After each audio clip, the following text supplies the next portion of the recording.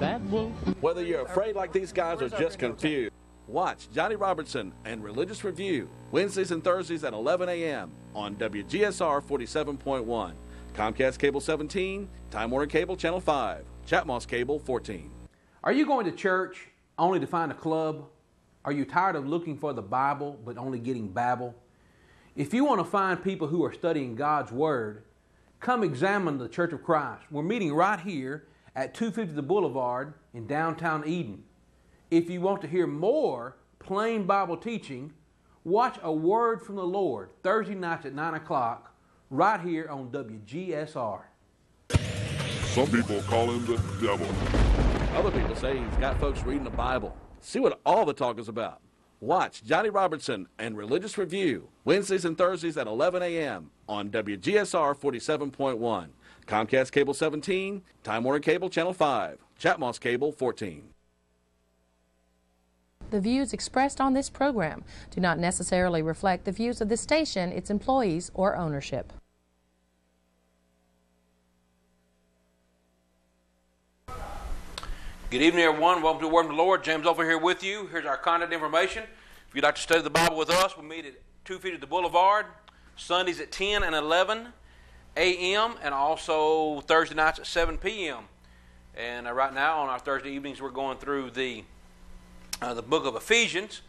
And if you'd like to study that with us, that's where that's where we are, and hope you will come out and join us. 276 340 2653 is how you can reach me, or 336 394 5721 is uh, phone numbers are wordfromthelord at gmail.com.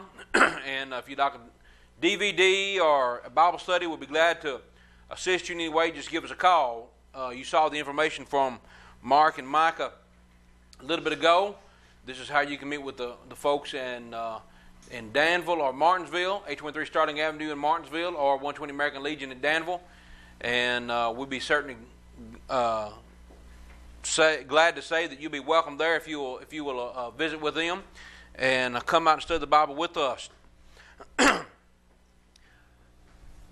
Recently in the newspaper, uh, I saw this article, or this article came across my desk when the members gave it to me, and thought they and found it interesting. And there are some interesting comments in this uh, uh, article.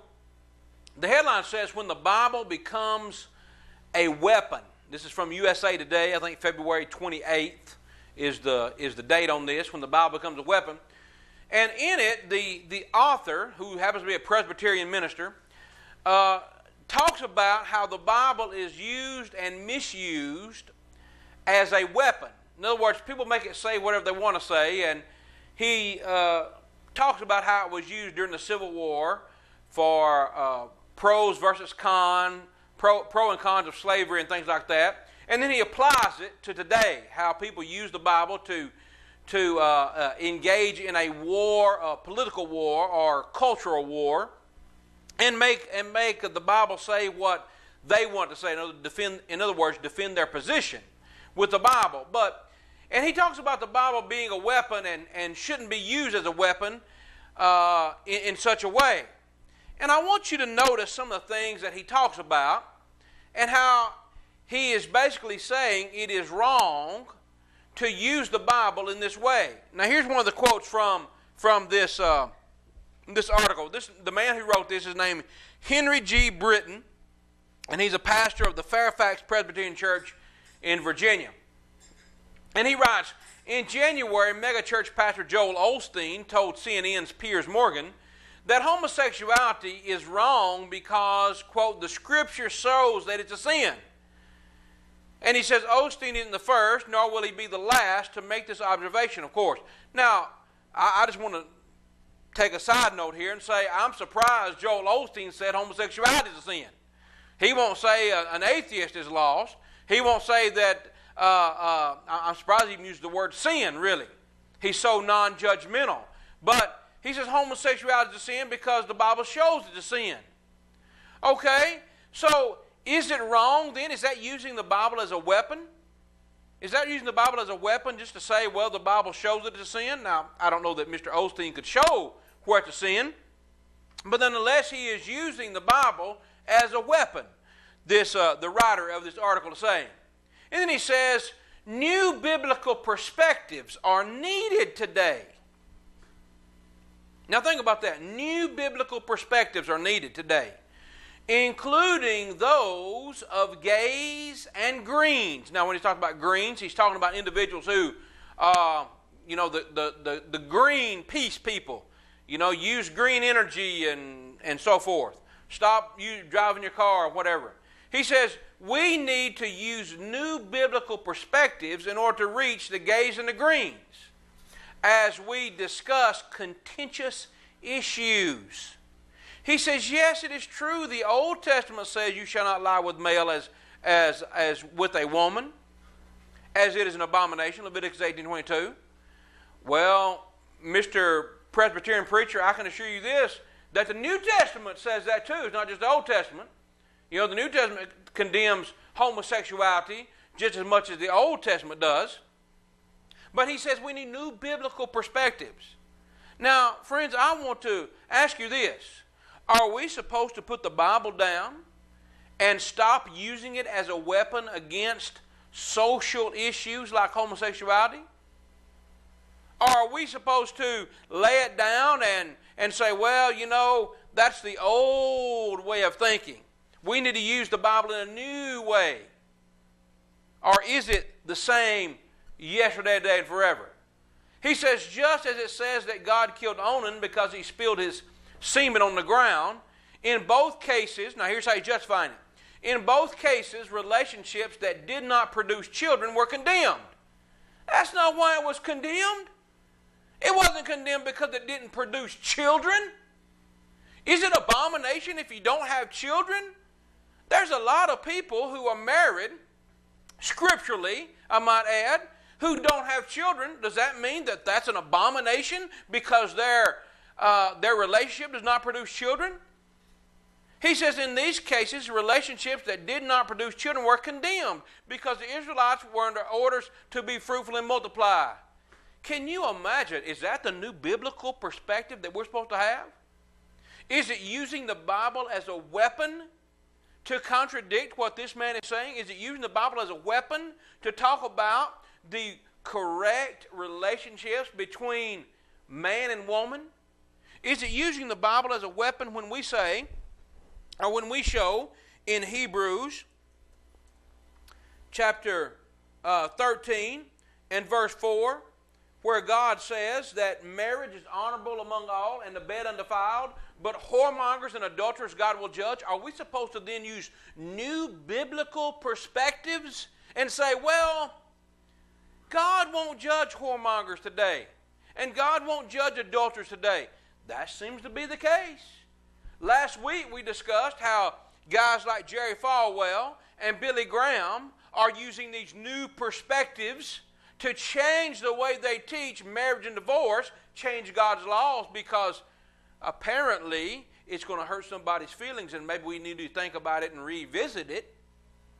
Because maybe God didn't think about how bad things were going to be, and maybe He didn't realize that, you know what, this is going to be too rigid if I leave it this way. Or do you think that God really knew what was best for mankind, and so we best just leave it alone?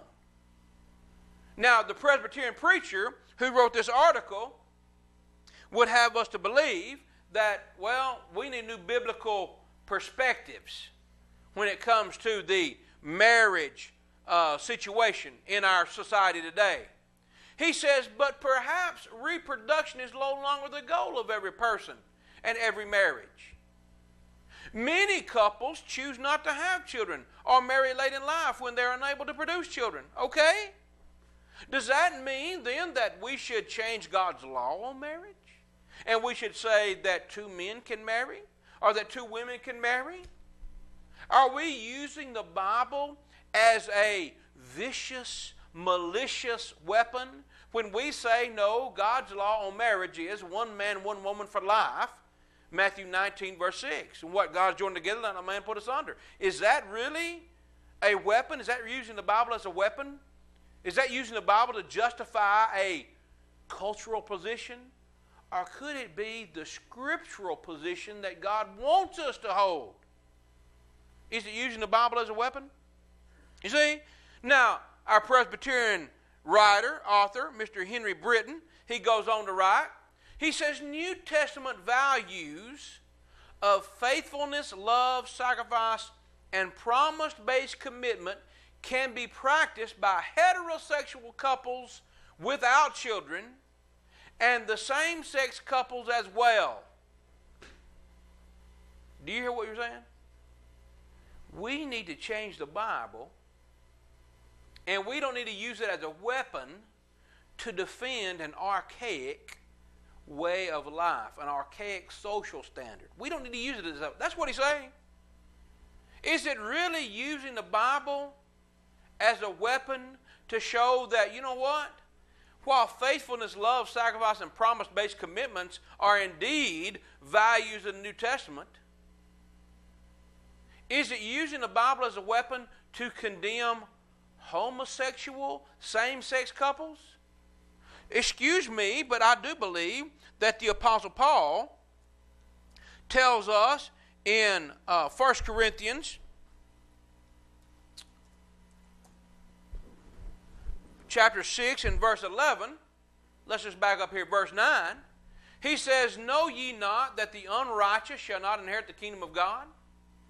Be not deceived, neither fornicators, nor idolaters, nor adulterers, nor effeminate, there's your homosexuals, abusers of themselves of mankind, there's the sodomites, nor thieves, nor covetous, nor drunkards, nor revilers, nor extortioners shall inherit the kingdom of God. Do we need to have new biblical perspectives on these social issues?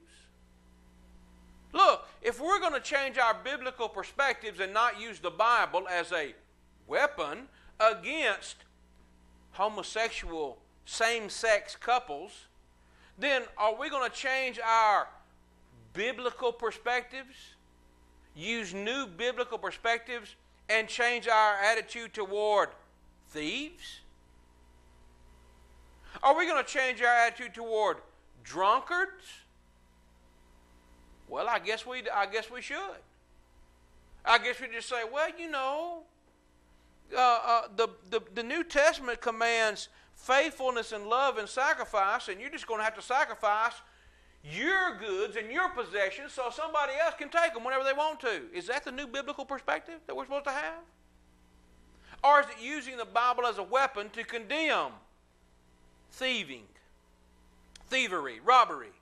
Is it using the Bible as a weapon to condemn the covetousness or drunkards or extortioners? See, I submit to you, friends, that it's men like our Presbyterian pastor who wrote this article that we're reading is the problem in our society. The, the, the, weapon of the Bible does not need to be changed. We need to change men to conform to the Bible. Don't change the Bible to conform to men. See, the problem we're having is people realize that it's going to be hard to get people to conform to what God says. And so, like most lazy people do, they want to, well, let's take the easy way out. Let's just change the Bible to conform to man. And then we can make everybody happy. And we can just all have flowers in our hair and we can sing, you know, kumbaya around the campfire and everything's going to be good in the world. How about we use the Bible as it's intended? And if it's to be used as a weapon, let's use it as a weapon. See? Our Presbyterian pastor that wrote this that wrote this article, he seems to want to dumb down the Bible. He says discussions of gay marriage can focus as much on scriptural equality as on the ability to reproduce. The Bible is not discussing same sex relationships on the basis of the ability to reproduce. So you've got your you've got your, your, your starting point all wrong, Mr. Brinton. You've got your starting point all wrong. God is not condemning same sex marriages because they can't reproduce. He's not condemning them because they don't love. He's condemning them because his intent on marriage was one man and one woman. Have you not read? that he which made them at the beginning made them male and female? See? Verse 3, Matthew 19, verse 3. They said, Is it lawful for a man to put away his wife for every cause? And Jesus said, Look, he which made them at the beginning made them male and female. For this cause shall a man leave father and mother, shall cleave to his wife, and they twain shall be one flesh. You should understand. You should understand by reading how God created man in the beginning and instituted marriage in the beginning. That was always in his intent on it. It had nothing to do with the ability to reproduce. It has to do with this is how God intended it. Do you think God didn't foresee that a man and woman could remarry could marry and they might not have children? Do you think God did not foresee the fact that somewhere down the line a man and woman might marry and they not have children for some reason or the other?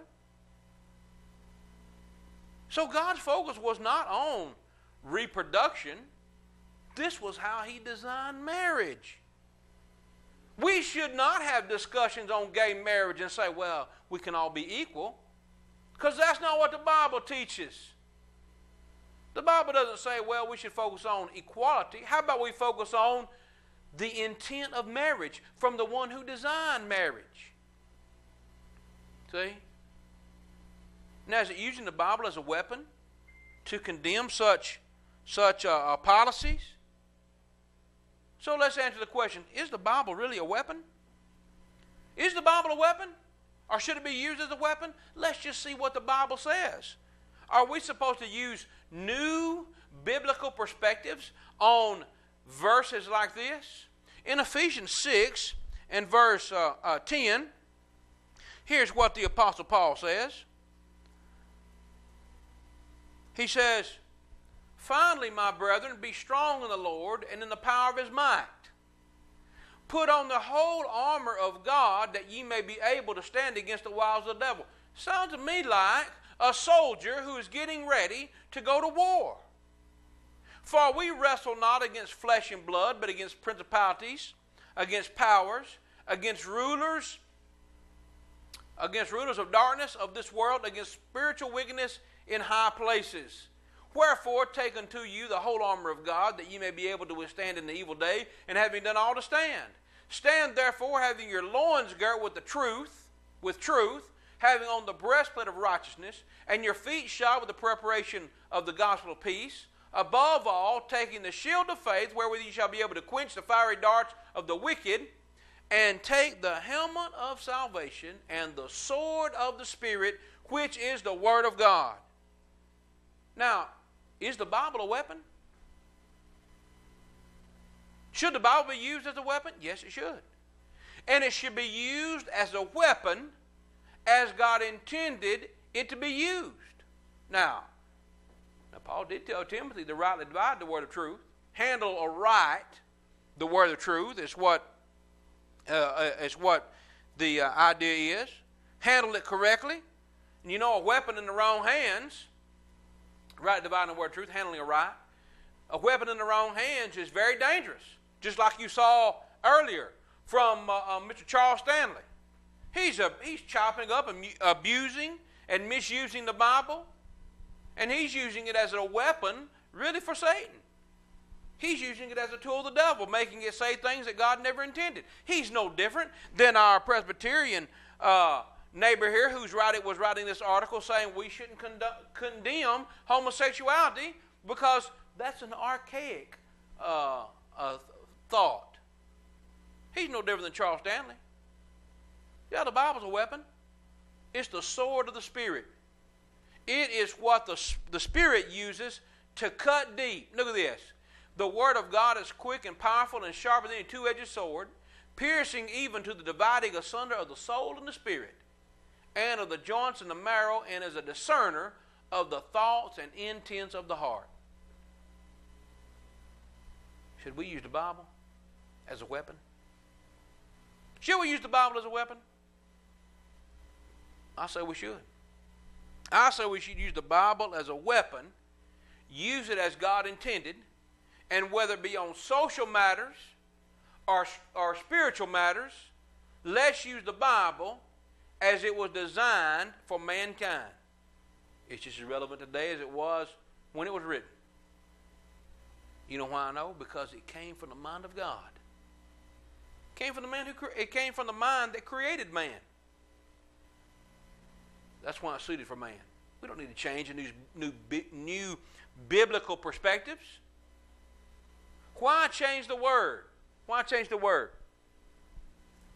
But see, men often want to change the word because it doesn't suit what they think. That's why you have books like the NIV comes along. Let me tell you, the NIV, the NIV is going to lead a lot of people to hell because it abuses and misuses the Scripture. See? And a lot of times people don't even recognize when the Bible is not even being read. The caller that called in and said Mr. Stanley was reading from the King James, and then we put it up and said, "Hey, wait, it, it, he's not quoting from the King James, or it'd be word for word. What he's saying." See, people don't even know the Bible well enough to recognize, "Hey, that's not right."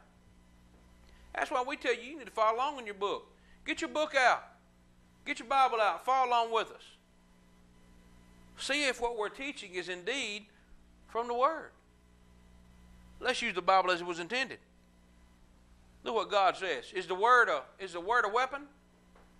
Jeremiah 23 9 Is not my word like a fire, saith the Lord, and like a hammer that breaketh the rock in pieces? The Bible is a hammer that can destroy things like denominational doctrines, false teaching, it, will destroy. That's why, friends, that's why we show you, we play for you what these false teachers are saying. And then we use the hammer of God's Word to break it in pieces like a hammer beating a rock. Now, are we supposed to use the Bible in such a way?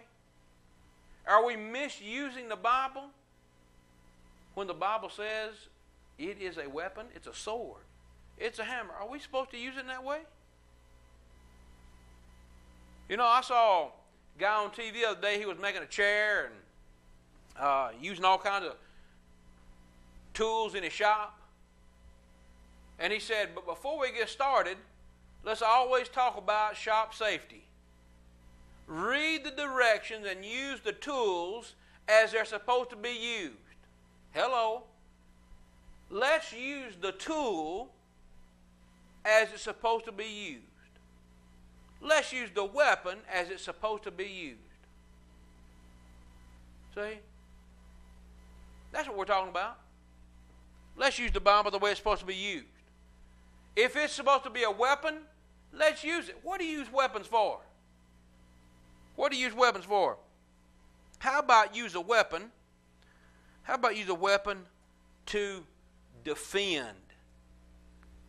Weapons are used for defense. Look what the Apostle Paul said in Philippians 1.17. He said, But the other of love known that I am set for the defense of the gospel. I'm set for the defense of the gospel. He's ready to use a defense. Now, what do you think Paul used to give his defense? 2 Timothy 4, verse 16, he said, At my first answer, no man stood with me. All men forsook me. I pray God that it may not be laid to their charge. He said, Look, I'm ready to give an answer. I'm ready to give a defense. Now, shouldn't we be the same way? Shouldn't we use the weapon as is intended? Philippians 1, verse 7. Even as it is meet for me to think this of you all because I have you in my heart, in so much as both of my bonds and in the defense and confirmation of the gospel, you are partakers of my grace. Paul defended the gospel and he used it to defend what he taught. He used the gospel as a defense. Someone says, Well, why are you, why are you preaching what you preach? He gave a defense.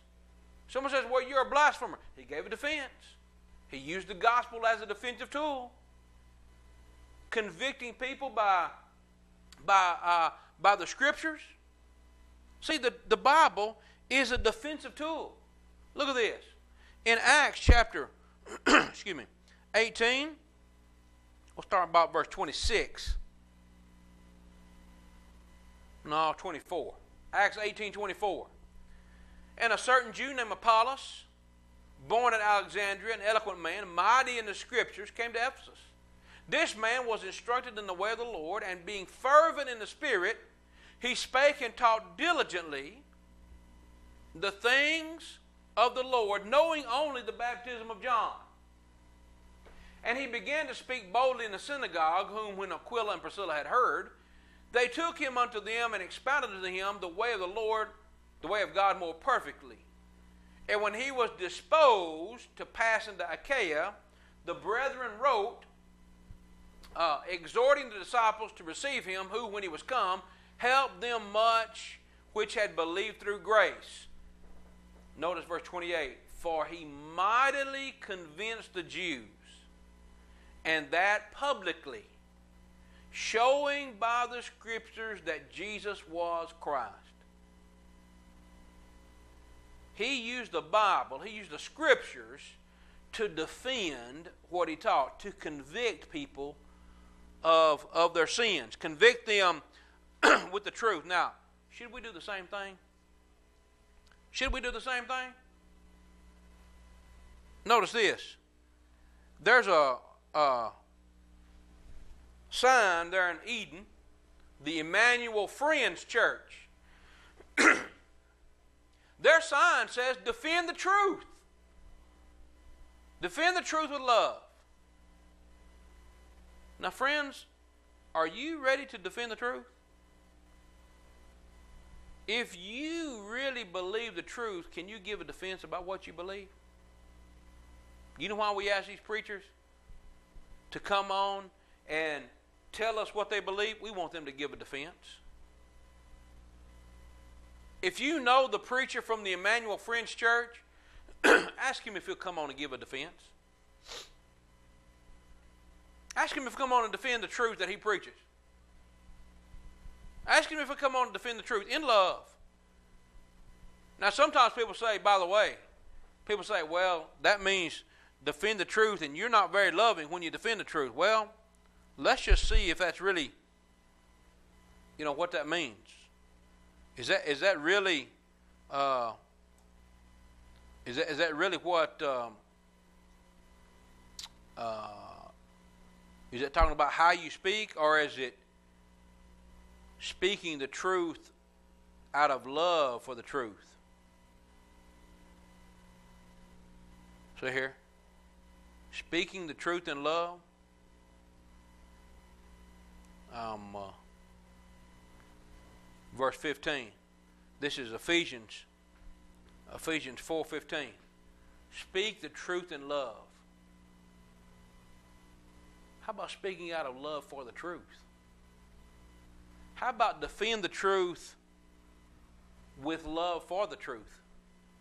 Some people don't love the truth anymore than they than they love an old stray dog, or maybe they love the stray dog more than they love the truth, because they'll take care of the stray dog.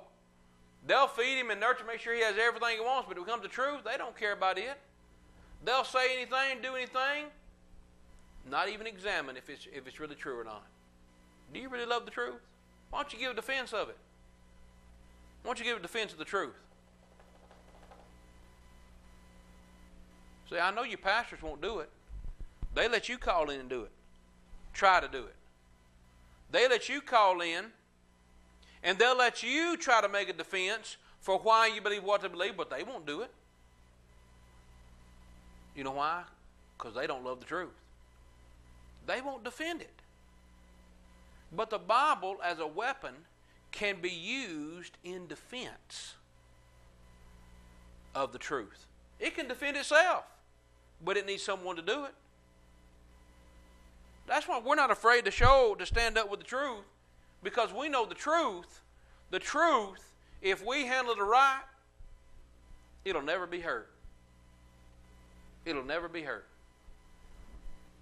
That's why we've had over 30 debates, over 30 debates televised, individuals, preachers, people from the pulpit have come on to try to defend their doctrine. Baptist, Pentecostal, Islam, all, you name it. You know why? You know why they can't give a defense? Because they don't have the truth.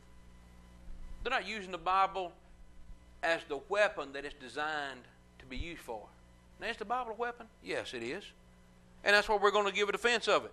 That's why we're going to use it as a defensive weapon. That's why last week we talked about marriage. We're going to use the Bible to defend marriage. Now, there's some individuals that don't have that same desire. Now, I read you some of this last week. I read you some of this last week about this is from the Presbyterian Church in their study and their examination of where they should be on the issues of marriage and divorce and same sex marriage. And this is what they wrote. This is what they wrote. They said, Some believe, see, some believe uh, some public rituals of blessing for the same sex couples without a change of status as socially indeterminate. Others find it to be a helpful compromise. Some say, well, you say, some people say no, you should, you should make a stand. Others say, well, no, it's helpful compromise. Others believe that the blessing of same gender relationships may implicitly, if not explicitly, condone and or encourage the behaviors. So they're, they're kind of torn on it. This is what they say. Here are three other groups on the marriage issue, on same sex marriage issue. Now, like I said, we went over this last week some. But notice what it says The United Church of Christ, who is in fellowship with the Presbyterian Church, says, We affirm that all humans are made in the image of likeness of God, including people of all sexual orientations. And God bestowed upon each one the gift of human sexuality. In other words, God made homosexuals homosexuals. Now, is that really true? Are we supposed to use the Bible as a, to defend that? Or to defend against it? To oppose it? Are we supposed to look at new biblical perspectives and say, well, the United Church of Christ may have it right? God made individuals a sexual being, therefore, same sex marriage is all right. Now, notice this the United Church of Christ says we further recognize and affirm that as created in God's image and gifted uh, by God with human sexuality, all people have the right to lead lives that express love, justice, mutuality, commitment, consent, and pleasure. So God made them, therefore, let them do it. Now, watch this. The Reformed Church of America. Now, this is really what I want drive home. Look at this. The Reformed Church in America restricts marriage to the union of one man and one woman to the exclusion of all others. In 1996, the Reformed Church in America entered into dialogue with the United Church of Christ, the UCC. And here's what they said encouraging the UCC to move toward a more biblically faithful understanding of human sexuality and re- repeal of all policies condoning homosexual behavior. Now, wait a minute. Is one of these groups wrong? Is the RCA, the Reformed Church in America, are they judging the United Church of Christ? Are they judging? Look at this. They said you need to move toward a more biblical, faithful understanding of human sexuality and repeal all your policies that condone homosexual behavior. Now, friends, you talk about us being mean, and you talk about us being judgmental, and you talk about us condemning all these other churches. But here is the Reformed Church in America that is doing the very same thing that we're trying to tell you in the Baptist, Methodist, Lutheran, Pentecostal, Presbyterian churches. You need to move toward a more biblically faithful understanding of the Bible, period.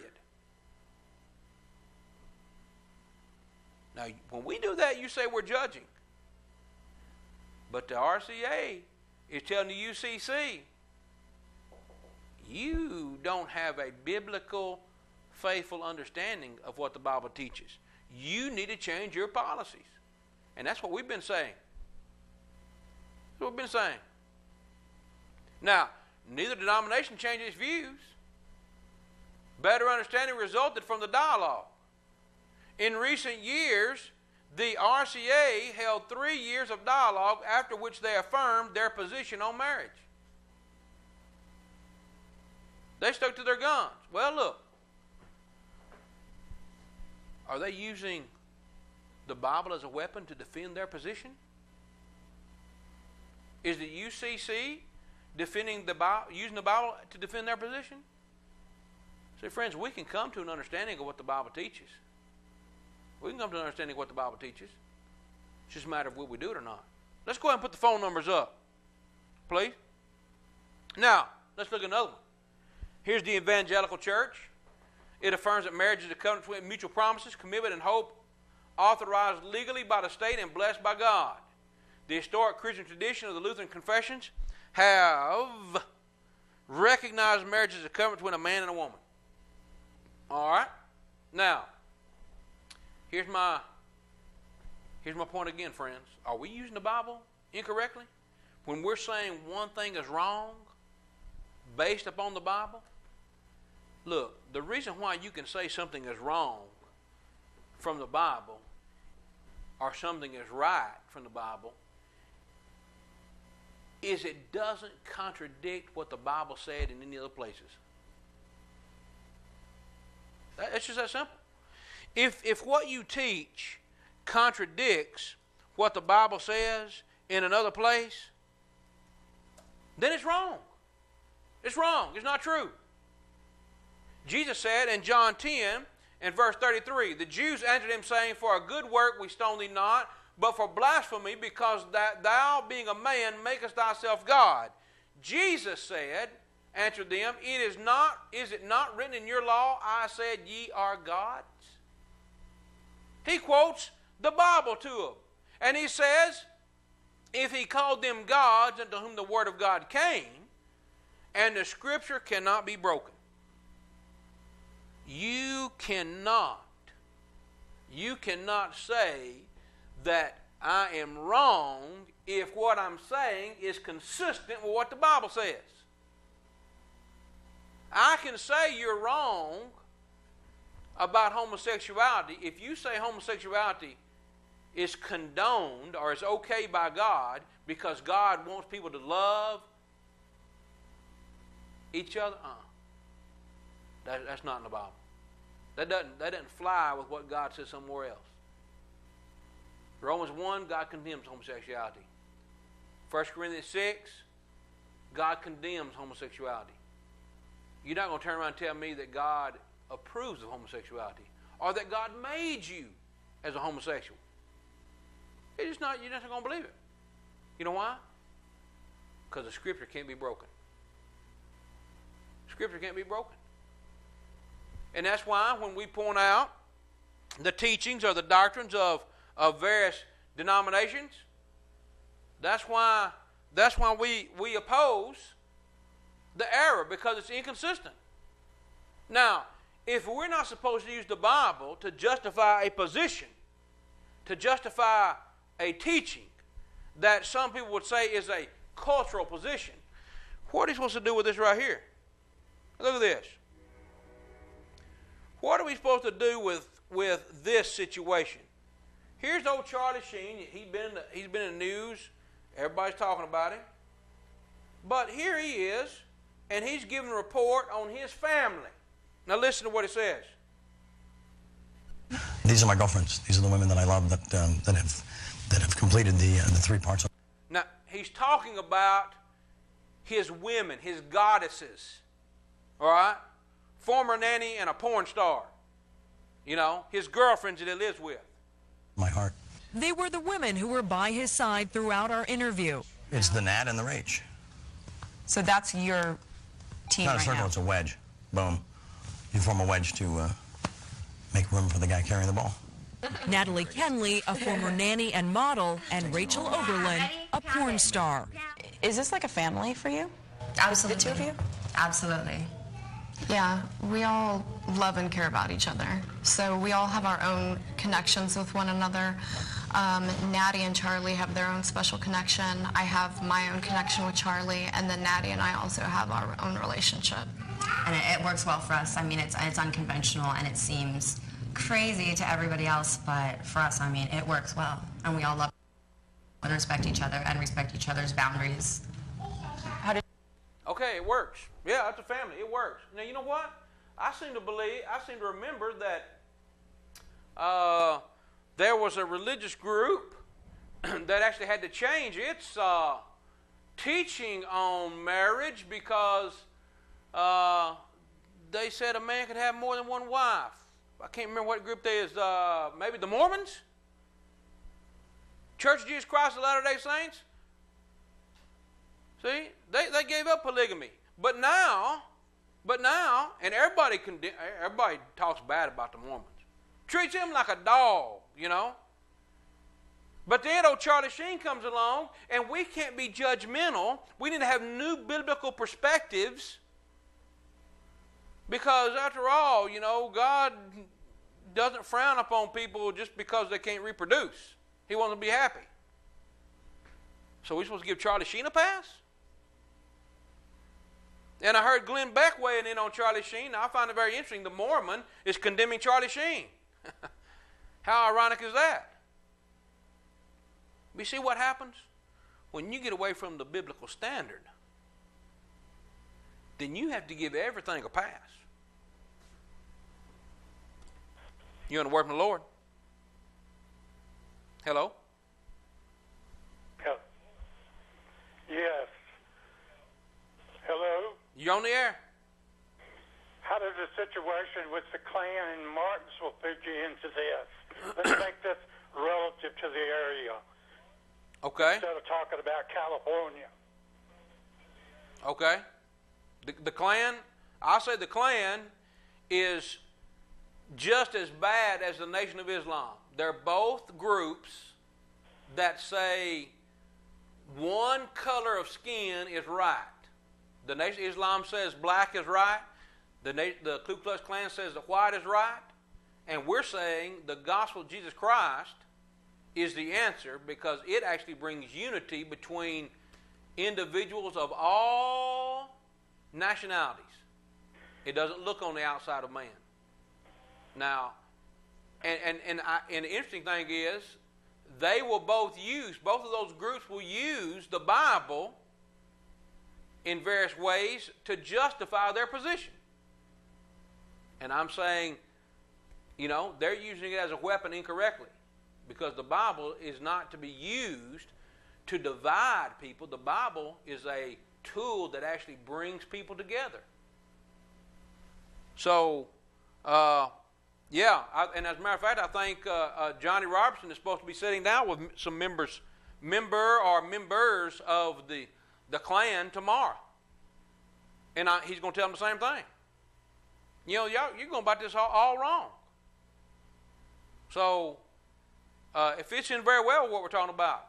Just use the Bible for what it's designed to use, be used for. Does that help you? Well, do you support the Klan's uh, uh, march and meeting for the second of? No. No, I don't. Why would I? Why is that? I'm sorry? Why do you not support it? Why would I support it? No, that's not the question. The question is why do you not? I just why told you. Do you support it? I just told you why I don't support it. Because the Bible says so. No, the Bible says, that's right, the Bible says that uh, Jew, there's neither Jew nor Gentile, bond nor free, male or female, all are one in Christ. The KKK says white is right, and everybody else is, is uh, inferior. Now, why would I support or be in agreement with them marching and promoting that ideology? Are you in support of it? Uh, no, I was just wondering if you were a true Christian that I thought that uh, surely you wouldn't be for that either. Well, I'm not. Well, that's good. Yeah. And uh, I think uh, that that topic is certainly much more relevant to this area than talking about Charlie Sheen. Okay. Well, I'll tell you what, sir. You get your show and you talk about what you think's relevant then. Oh, now, now, now, don't Okay. get defensive. I'm not getting defensive. I'm just saying, sir. you, are. You told me to get my you- show. Okay. Yes, okay. You well, you call in, You, sir. I open the phone line. People to call in. Sir. Do you not want us to Sir- call in? Sir, do you not think that the situation that Charlie Sheen is promoting, everybody's focused on Charlie Sheen and his and his so-called living arrangement. Now, you don't think that's important? You don't think that's pertinent to this situation?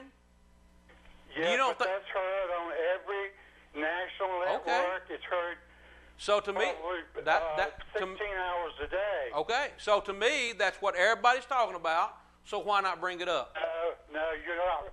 No, you're talking about everybody in the country. Okay. I'm about locally. Okay. Well, sir, we're being watched all across the country. Well, you know, you should uh, uh, you should encourage people to phone and get and give their opinion or ask you a Okay. question if you don't want us Okay. to. I I don't mind you giving your opinion, but when you say that I shouldn't be talking about Charlie Sheen, well, that's your opinion. And if you don't want to talk about Charlie Sheen, you can get your show and you can talk about what you want to talk about. Let me uh, ask you a question. Go ahead.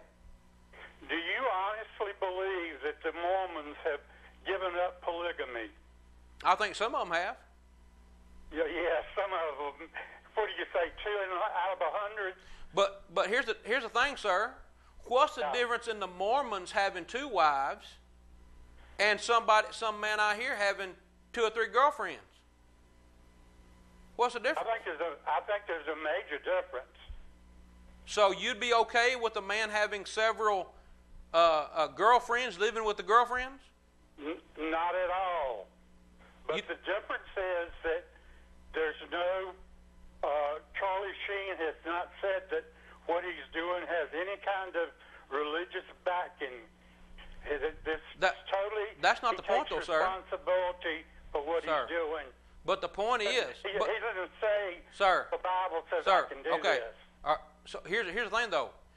But if if Charlie Sheen, if what Charlie Sheen is doing is okay, then everything else has to be okay. Eh, or if you say, or if you say, sir, now let me let me talk. Now let me talk. Let me talk. If you say, well, here is something that is okay, whatever it may be, homosexuality, or KKK, or whatever. If someone comes along and says, well, that's okay because the Bible says it, well, you can't condemn Charlie Sheen whether he has any religious affiliations or not. Because we've already thrown the standard out the door. You see the problem? I see the problem in your reasoning. Yes. You see the problem in my reasoning? Yes. So, so what do we do about Charlie Sheen or someone like Uh, him? Charlie Sheen needs some professional help. So, so And- what are we supposed to do about uh, that though? Eventually, he'll get it. So what are we supposed to get? What is he doing something wrong? I didn't say that. I said I, you asked me did I agree with him. I said no. But Then what's he, what's he doing wrong? man. What's he doing wrong? Well, he's self-destructive and has hurt a lot of people. Okay. But let's get back again. Let's bring No. this home Uh, instead of California. Uh, I'm bringing it home. Here, here's my point, though. You're saying Charlie Sheen's wrong, but you don't want me saying somebody else is wrong, apparently.